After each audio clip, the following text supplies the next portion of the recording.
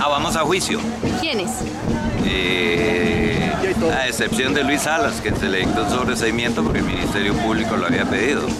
Pero vamos a juicio, nos admitieron toda la prueba ofrecida y esperamos que nos hagan nuevamente el señalamiento para juicio, que no sabemos cuándo. El asunto anda tan retardado que posiblemente será para el próximo año, ¿verdad? Ajá. Presentaron prueba a ellos.